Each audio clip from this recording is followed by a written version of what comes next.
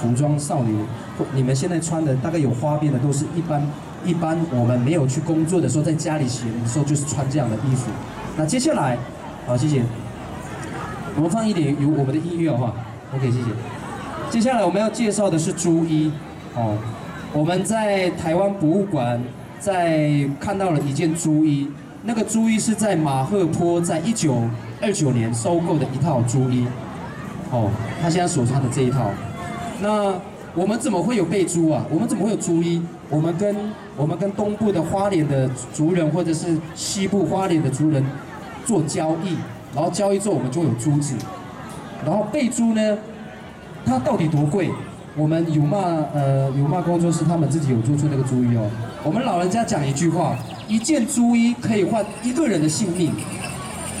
你看它多价多有价值，我们叫都不是嘎嘎，啊都不是嘎嘎，嘎嘎就是珠珠珠子哦。那你会发，我们怎么会有胸兜？男人怎么会有胸兜？我问过很多老人家，男人有胸兜，为什么？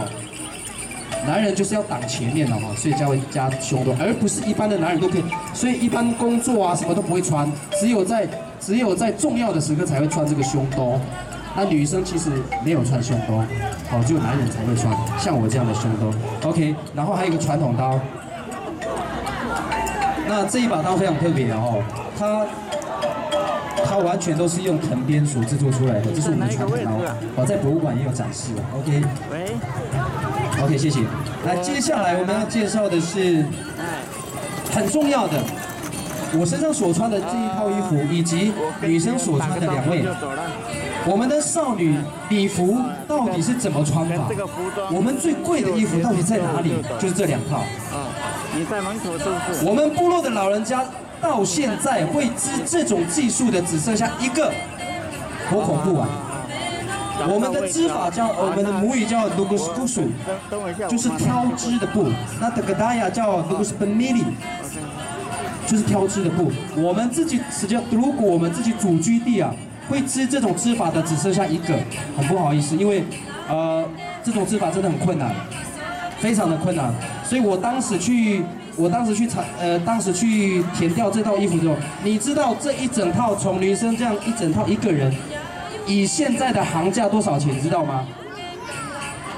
七十二万起跳，你没听过下？你怎么可能？是真的。老人家花了将近快十个月的时间做完，来以老人家的一个一天八个小时下去做，一直到十个月做就完成品，将近花十个月。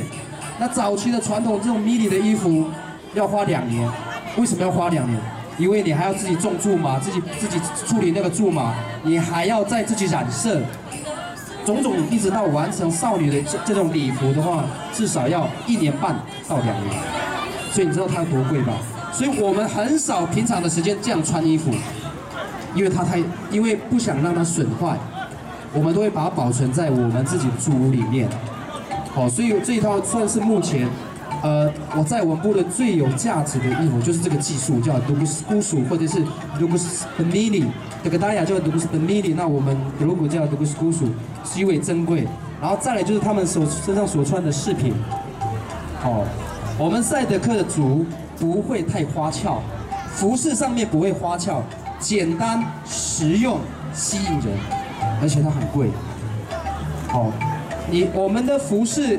有两种材料，主要的材料，一个是牛的骨头，牛骨下去做切片，再来就是贝壳，砗磲贝下去做制作，然后放在我们怎么会有砗磲贝？也是跟人东部的或者是西部的族人做交易换来的，但是你要付出相当大的比那个交易的物品来跟他换这样的东西，所以极为珍贵。所以大家如果下次看到赛德克的衣服，记得。我们工作服、一般服装跟礼服，好要记得分清。我们尤其是我们现在的赛德克族的年轻人哦，我们的衣服不会花俏，但是它很重要。老人家讲一句话，就是一个男人穿到一个男人穿上这一套衣服之后，你就知道你家里的女人有多厉害。他不会在语言上想说我女子女人很厉害，他只要看到你那一套衣服身上所穿的的那种纹路跟图案，就知道你在家的女人的纹路。到底有多，这个女人到底有多强？然后就会在她的额头上面画一条杠、三条杠、五条杠跟七条杠。当然最厉害的就是七条杠，表示你在部落里面是备受尊重的女人。哦，我们这样是这样的说法。那女性工作室一直到现在哦，还是要特别感谢我们所有的部落的老人家哦，这些都不是我的功劳，这些都是部落的老人家传下来的一些技术。我。